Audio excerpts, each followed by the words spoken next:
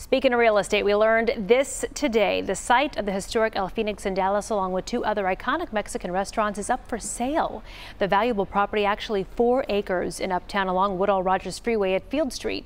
It's being touted for mixed use development, so we're still waiting to find out what that all means. The women